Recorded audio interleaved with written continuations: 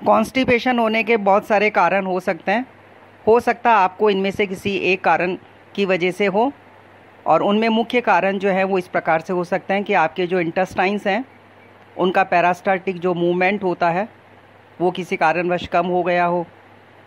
दूसरा हो सकता है कि आप बहुत ज़्यादा गरिष्ठ और मसालेदार यानी बहुत ज़्यादा तला भुना भोजन करते हों, भोजन में किसी प्रकार के फाइबर की कमी रखते हों या बहुत कम मात्रा में पानी पीते हों।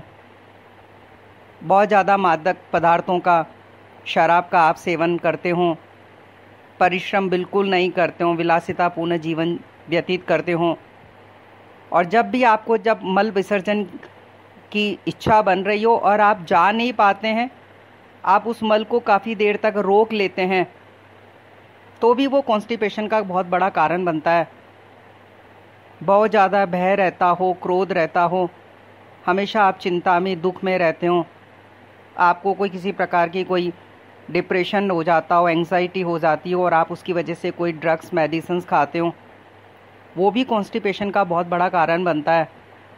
आप प्रॉपर फ़ूड इनटेक नहीं करते हो, आप अपर्याप्त मात्रा में भोजन करते हो, जिससे फीकल मेटल ज़्यादा नहीं बनता हो।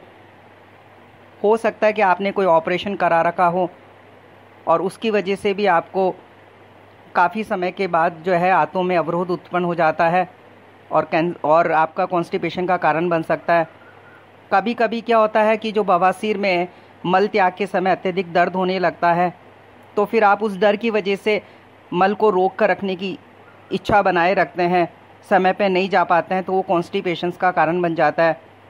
आप लंबे समय के लिए कोई एंटासिड खाते हो, आप हाई ब्लड प्रेशर्स के लिए हाई ब्लड शुगर के लिए या कोई अफीम से बनी दवाओं का प्रयोग करते आ रहे हों। आप बहुत ज़्यादा ओल्ड एज के हो गए हों। वृद्धावस्था में भी जो है इंटेस्टाइनल मूवमेंट्स कम हो जाते हैं और वो कॉन्स्टिपेशन का कारण बन जाता है। एंडोक्राइन ग्लैंड से रिलेटेड जैसे कि आपको थायराइड हो, पिट्यूटरी ग्लैंड्स हो और उसका सीक्रेशन जब कम हो जाता है तो वो कॉन्स्टिपेशन का कारण बन जाता है।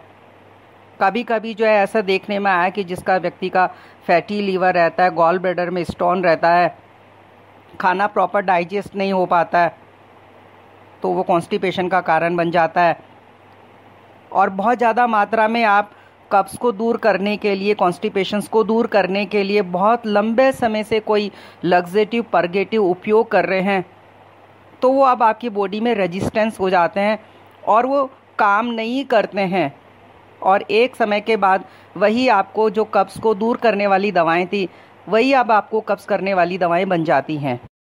कॉन्स्टिपेशन होने पर क्या लक्षण दिखाई देते हैं? यानी इसके क्या साइन और सिम्टम्स हैं?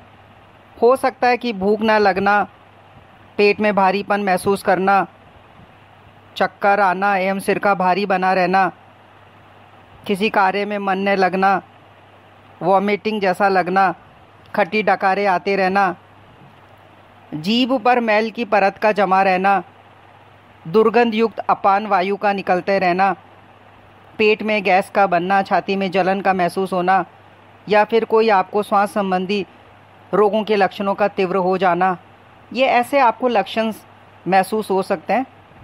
और इसके बाद फिर इसकी रोग की जो है कॉम्प्लिकेशंस भी हो सकते हैं, जिसमें आपको पाइल्स बन सकता है फिशुला इनैनो बन सकता है, या आपका प्रोलेप्स ऑफ़ रेक्टम हो सकता है। और जब कभी भी आप मल त्याग करने जाएँगे तो आपको ज़ोर लगाना पड़ता है।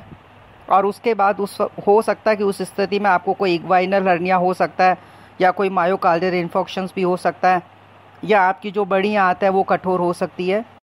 आप इसकी जाँच करवाने के लिए इन्वेस्टिगेशन कराने के लिए बेरियम एनीमा करवा सकते हैं प्रोक्टोस्कोपी करवा सकते हैं सिग्मोइडोस्कोपी करा सकते हैं, या फिर किसी के द्वारा गुदाद्वार में उंगली डालकर भी आप जाँच करा सकते हैं।